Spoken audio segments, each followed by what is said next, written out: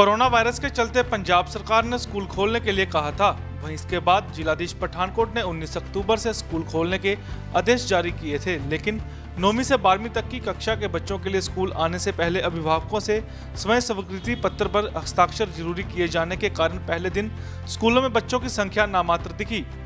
और वहीं स्कूल प्रवेश के दौरान हैंड सैनिटाइजर, थर्मल स्कैनिंग के अलावा मास्क पहनना व सोशल डिस्टेंसिंग रखना ज़रूरी किया गया था।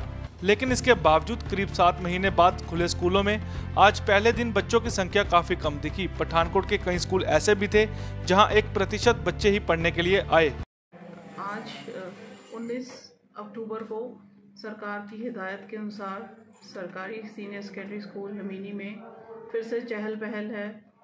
बच्चे, गिनती तो ज़्यादा नहीं है, बट फिर भी around fifteen to twenty percent बच्चे स्कूल में प्रेजेंट हैं। पेरेंट्स की प्रॉपर के साथ बच्चे स्कूल में आए हुए हैं। उनकी सावधानी का पूरा ध्यान रखा गया है।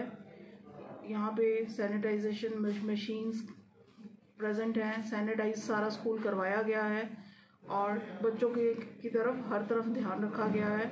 बच्चों को इंस्ट्रक्ट किया गया है कि वाटर बॉटल्स अपने साथ लेके आएँ सैनिटाइज़र्स अपने साथ लेके आएँ और उनको सिक्स फीट की दूरी बना के बिठाया गया है क्लासेस में और इसके साथ साथ ऑनलाइन क्लासेस भी टीचर्स उसी तरह ही कंडक्ट कर रही है। पठानकोट तो कैमरामैन अभिषेक भारद्वाज के अजय सैन की रिपोर्ट।